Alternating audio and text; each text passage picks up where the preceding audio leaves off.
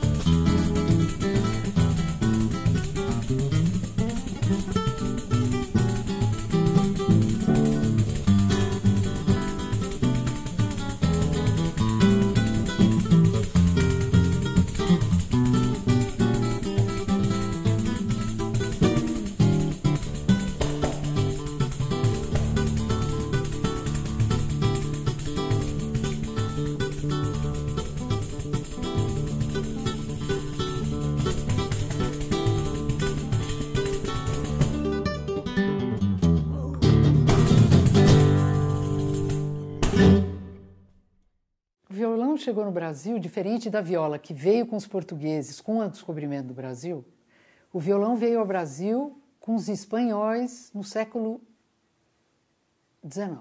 Desde que ele entrou, ele passou a ser um instrumento absolutamente popular. Ele foi se embrenhando no Rio, em São Paulo, nas grandes cidades, especialmente fora das elites, porque o piano tinha seu papel importante na elite. E o violão passou a ser um instrumento do povo mesmo. O Armando Neves foi um músico paulista é, que trabalhou na Rádio Record. Ele foi jogador de futebol também. E ele vivenciou toda essa parte da criação das rádios, né? Participou da, da programação, as primeiras programações. E tocava com, com os artistas da época, o Paraguaçu, o Canhoto, o Américo Jacomino, né? O Mafuá é um machixe que não tem data, né? Não dá para saber de que época que é, mas eu chuto com quase certeza que é do começo de carreira, assim, por causa da, é, da forma, da harmonia, que é uma harmonia muito simples, é, é uma peça em três, a três, com três partes, né? As peças com duas partes são, são peças que vêm assim, depois de Jacó do Bandolim.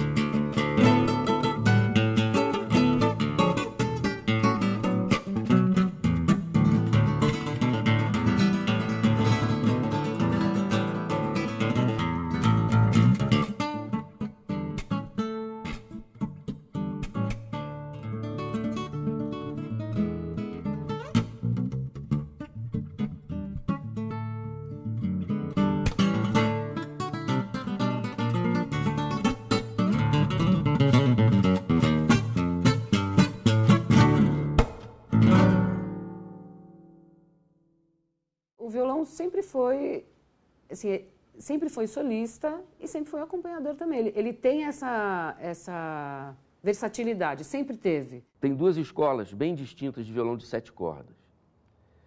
Uma que usa o violão com cordas de aço e, e usa dedeira no polegar, que é um violão que faz mais frases.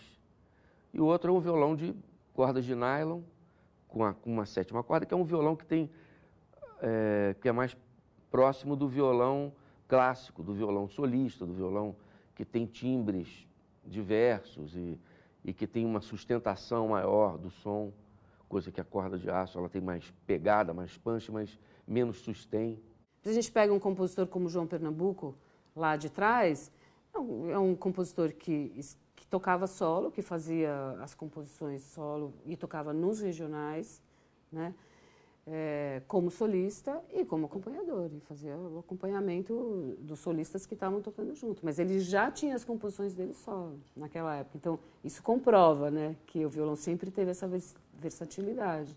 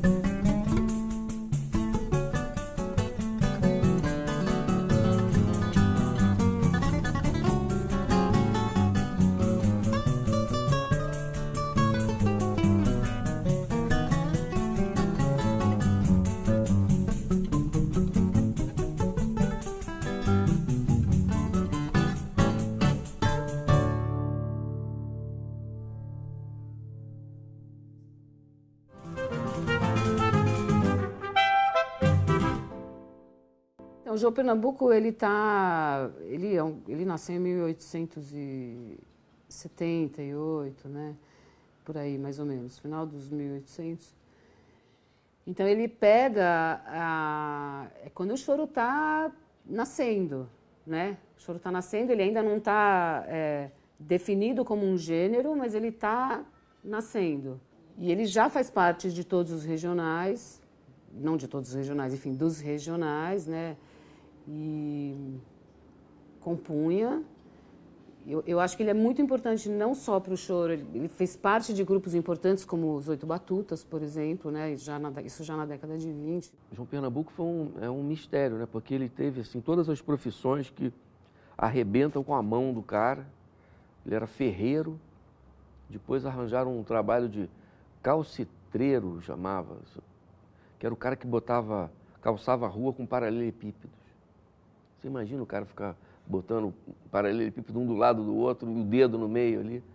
Como é que ele conseguia tocar violão, né? Mas eu acho que ele é muito importante para o violão brasileiro também, como instrumento solista no choro, né? No repertório, porque o, o, repertório que ele faz, que ele, que ele desenvolve é em cima dos gêneros que vão compor o choro. Então ele faz o machixe, ele faz é, ele faz valsa, que são todos os repertórios que rodeiam até o choro se é, sedimentar como gênero mesmo, né?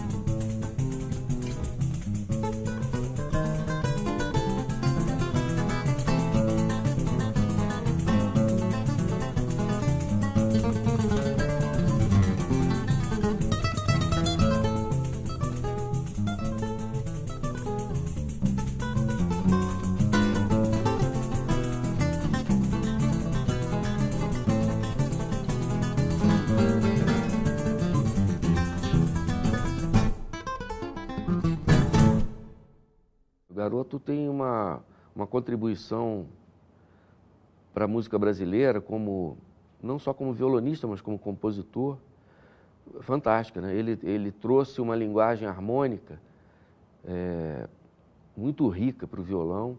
Né? Ele enriqueceu o violão harmonicamente com o seu trabalho. Ele tocava com sem unha, com cordas de aço, né? tinha um som é, peculiar, né? diferente do que a gente usa hoje, mas era um, um cara genial. Né? O garoto ele traz é, harmonias da vivência dele com outros músicos. Eu, eu, eu não gosto de afirmar porque não foi uma pesquisa que eu fiz, mas, mas por exemplo, nessas viagens que ele fez com a Carmen Miranda, o contato que ele teve com esses músicos e com essa música que ele ouvia lá, eu acho que ele traz dissonâncias que é, caracterizam o sotaque dele, né? da, da música dele.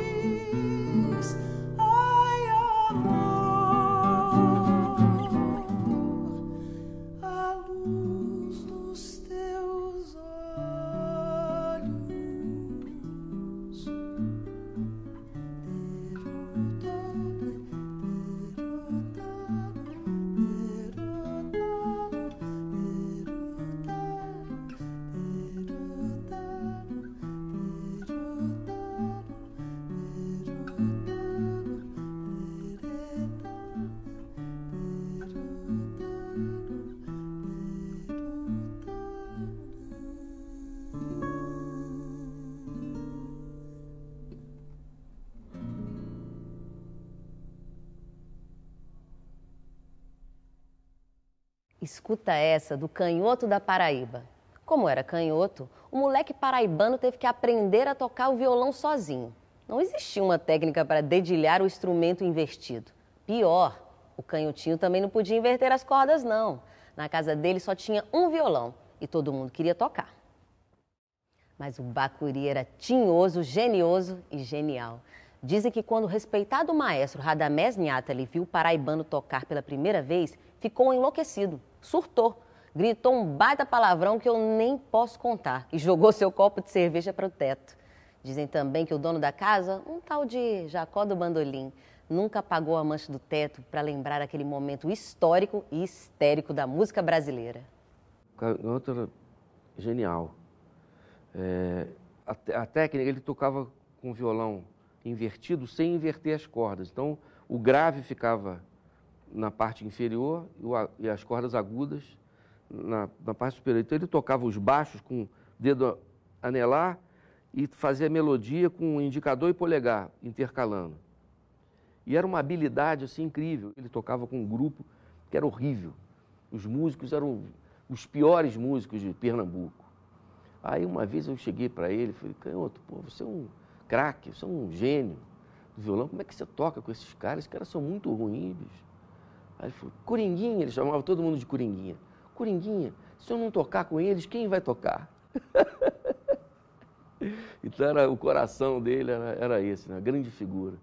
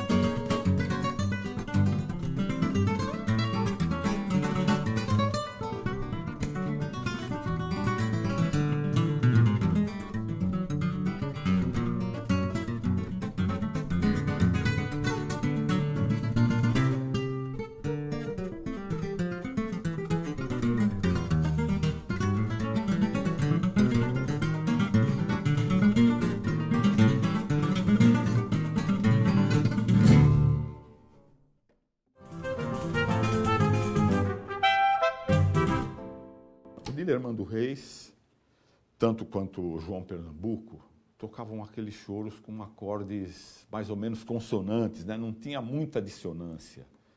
Era coisa assim mais é, tipo Abismo de Rosa, tipo Magoado.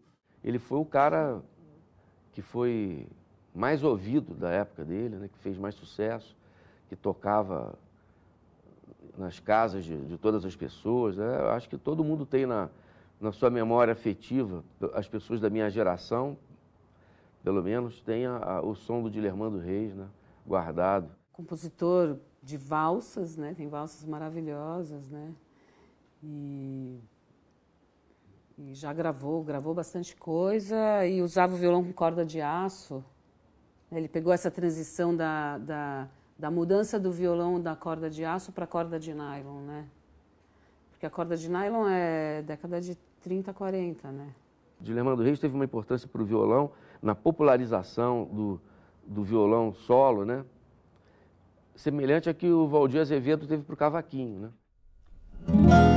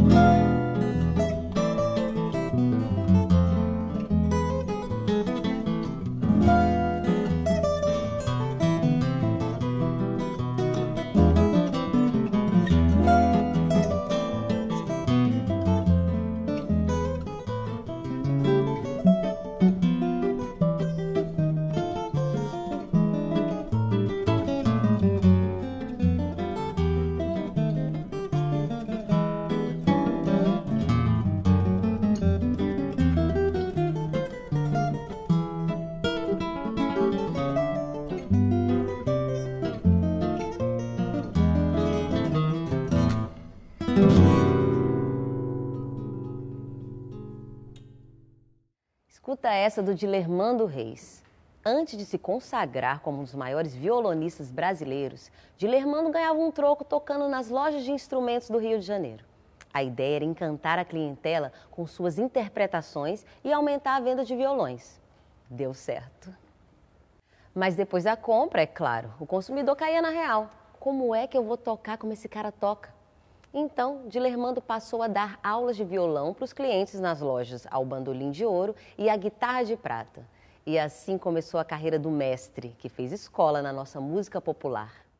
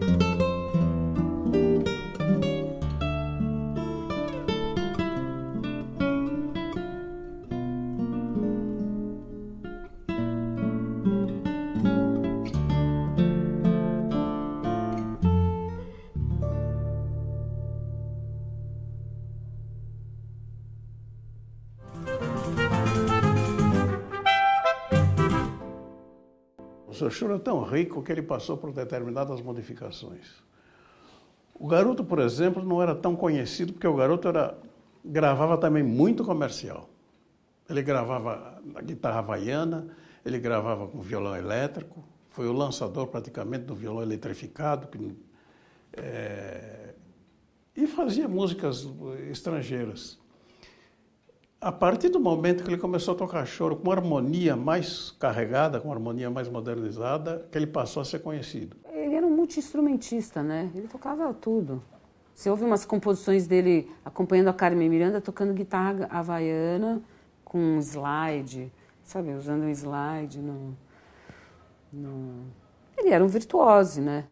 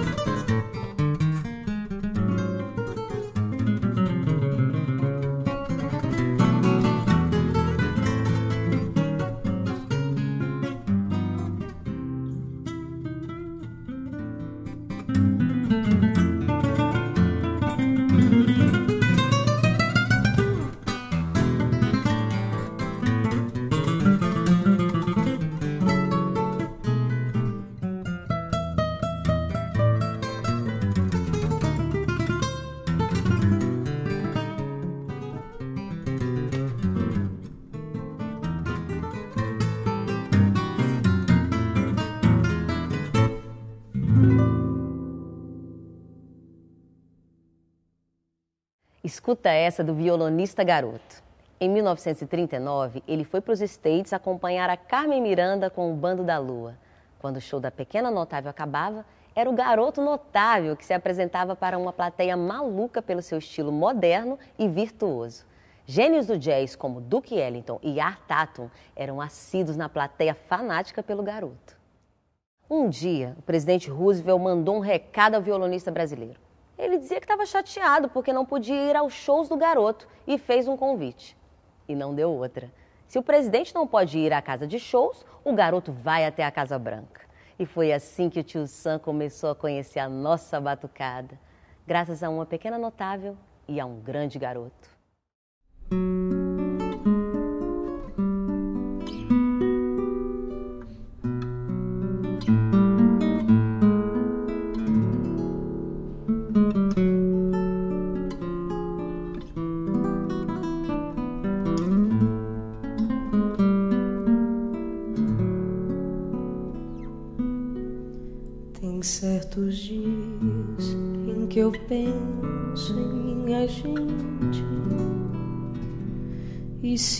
Assim todo o meu peito se apertar,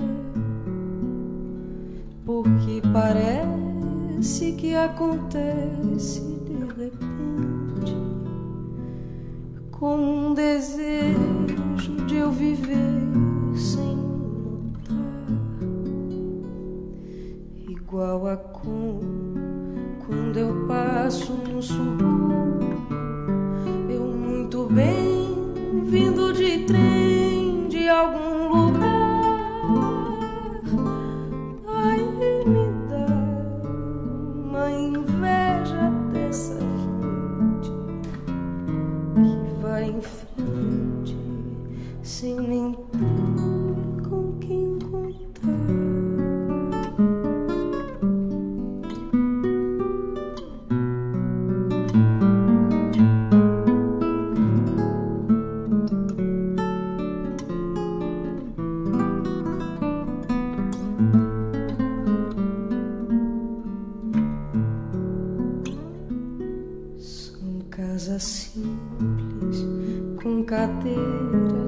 calçada